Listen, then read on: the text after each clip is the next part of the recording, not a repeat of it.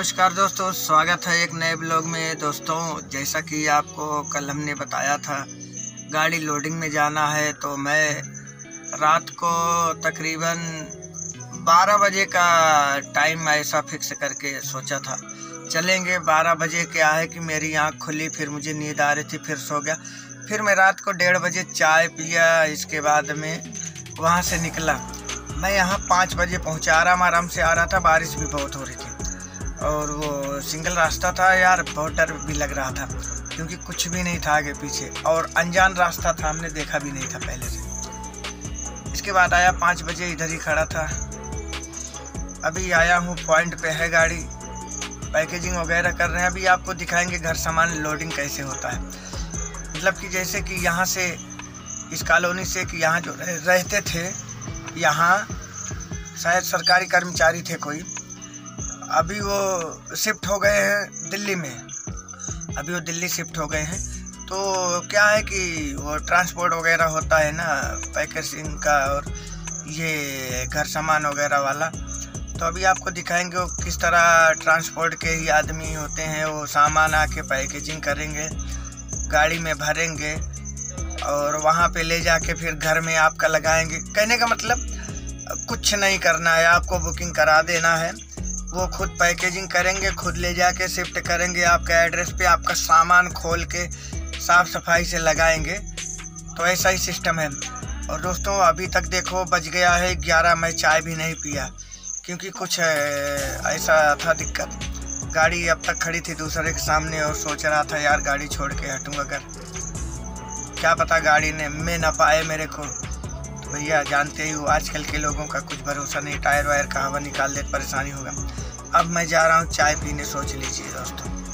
तो मैं चलता हूँ, बोल रहे हैं, चाय भी यहाँ दूर मिलती है, कॉलोनी के अंदर तो मिलती नहीं, अब चलता हूँ, क्योंकि जब तक चाय नहीं पीऊँगा, मेरा नींद नहीं टूटने वाला।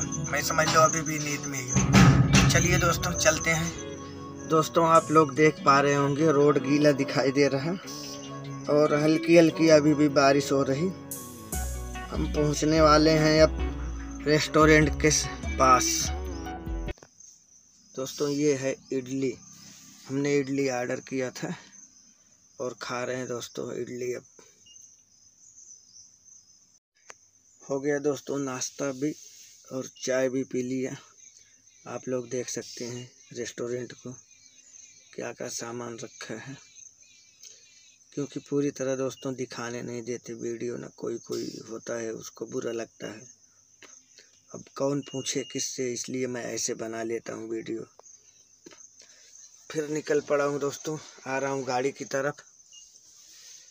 बारिश हल्की हल्की हो ही रही है, और मैं लमसम थोड़ा बहुत भीग भी गया हूँ। अभी इधर ही कॉलोनी में एक है, पान की दुकान दिख रहा आपको देखो। चलते हैं, पान खाते हैं, फिर गाड़ी में चलते हैं।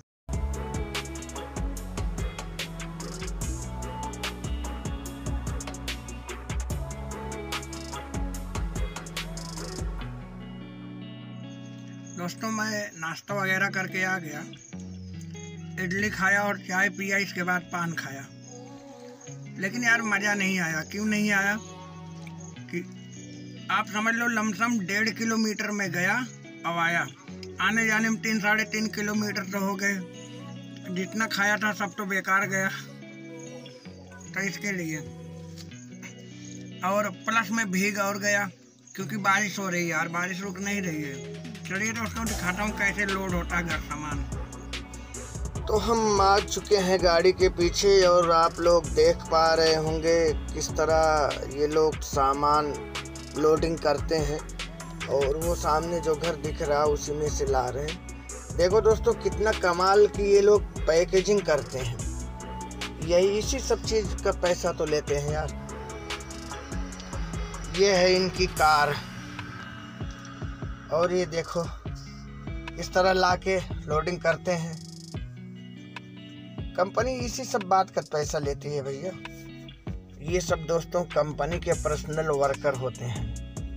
और आएँगे आपका माल उठा के पैकेजिंग करके सेफ़ तरीके से गाड़ी में भर के कागज़ वगैरह बना के गाड़ी को रवाना कर देंगे। इसके बाद में उधर भी दूसरा आदमी इनका आएगा, उतारेगा, खोलेगा। सही ढंग से वो घर में सेफ़ तरीके से लगा देगा। ये लोग भीग चुके हैं, क्योंकि बारिश हो रही ना हल्की हल्की, और मैं भी खड़ा हूँ, भीग ही चुका हूँ। आप लोग देख पा रहे हैं एक एक सामान कितने अच्छे ढंग से लगाते हैं। पैकेजिंग इनका बहुत कमाल का होता है बहुत मज़बूत पैकेजिंग होता है।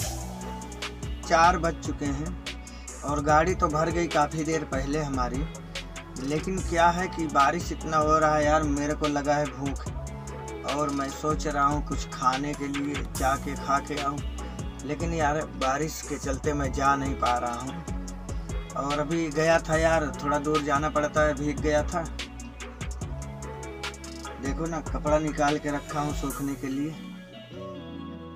इसके बाद में भूख भी लगा है बहुत ज़ोर का। और यार, मुझे हो गया जुकाम।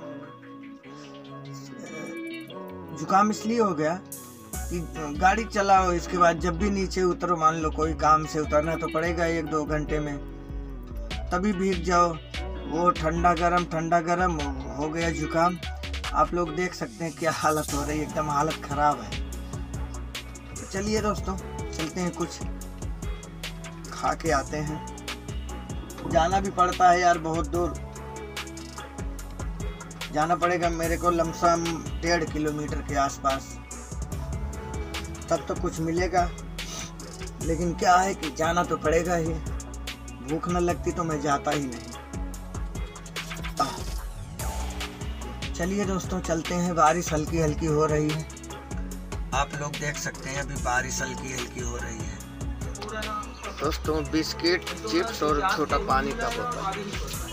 ये यहीं पे कॉलोनी में पान का एक शॉप है। वहीं से यही सब खा के अब पान खा के फिर चलता हूँ गाड़ी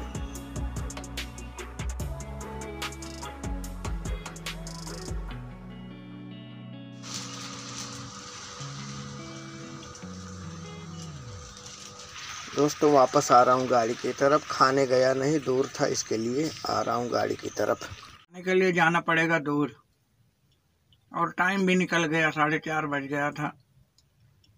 बारिश भी हो रही है। तो अभी आपने जो देखा, एक बिस्किट खाया और एक चिप्स। पानी पिया एक छोटा बाटल और पान खा के चलाया। अब शाम को खाएँगे, इकट्ठा निकलने के बाद ही। क्योंकि यार तबीयत है ख़राब, ज़्यादा दूर जा नहीं सकता। दोस्तों, रात को गाड़ी 11 बजे में भर के निकला। और 20 किलोमीटर दूर आके पेट्रोल पंप है, यहीं रुक गया था। डीजल लेना था, तबीयत भी ख़राब थी। इधर ही सो गया। अब सुबह हो गई, डीजल लेते हैं, चाय पानी पीते, फिर आगे निकलते हैं। और दोस्तों, इस ब्लॉग को यहीं समाप्त करेंगे। मिलते हैं अगले नए ब्लॉग में। जय हिंद।